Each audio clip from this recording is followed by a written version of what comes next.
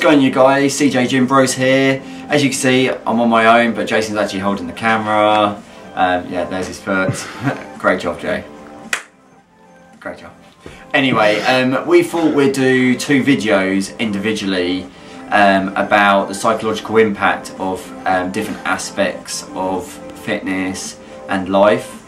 So a bit more deep these two conversations are going to be. So this particular video is going to be about myself. So it's going to be the psychological impact of fat to thin. Um, it's a bit hard saying fat still because obviously, you know, it's a hard thing to admit. You know, a lot of people think, oh my god, look at that guy, how can you let yourself go in that shape? The thing is, it happens in quite a long period of time, so you don't actually notice the weight until you see videos, um, photos, and then especially the biggest one is when you haven't seen someone for a long time and then you see them again. That's when you should really kind of take realise that actually you you have changed. Um, it's hard for you to kind of put in that mindset that actually yes I am but because it's happened naturally and you see yourself every day you don't notice the changes it's the same when you then go thin it's the same that when you're working out you don't notice the change because you're seeing yourself every single day and your training partner's seeing you every single day. But the people that don't see you that often are the ones that are noticing the difference. Um, you will see that difference. Take photos, look at photos, look where you want to be, look where you want to achieve. You know, it's hard because it's all up in here as well as out there. Up here is the hardest thing.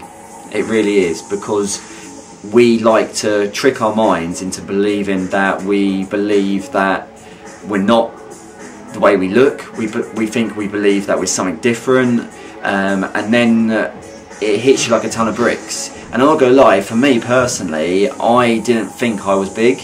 Um, and even my mate Jay, who's holding the camera at the moment, we were talking about it literally like the other day, where even he didn't realise, wow, I didn't realise you were that big. Um, and it's, it's a shock to the system.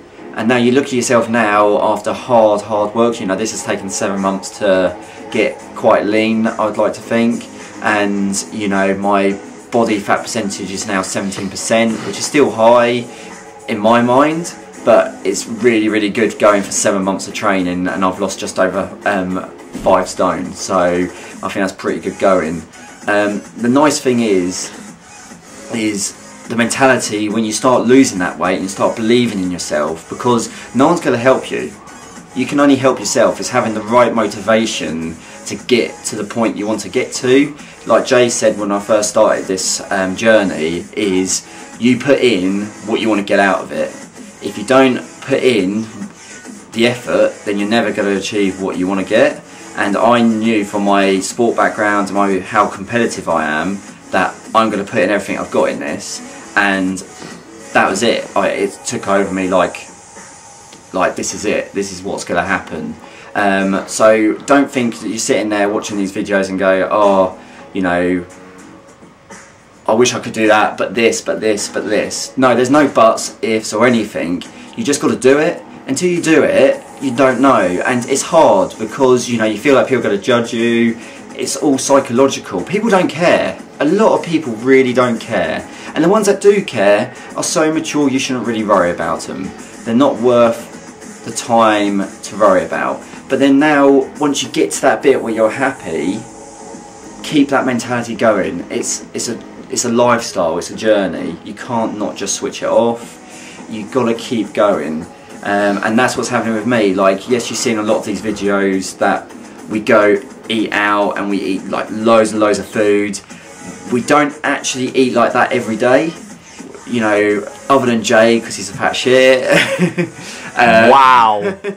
don't don't kid Jay. You ain't got any feelings. So, um, but we don't eat that, that all day. Like every day, you know, it's healthy food or it's food that's low in calories but good in protein. Some fats because you can't just cut it completely out. You can't cut, cut carbs completely out. It just doesn't work and we're not on anything. Some people look at us and think, oh, you're on some sort of weight loss pill, or you're on some sort of steroid.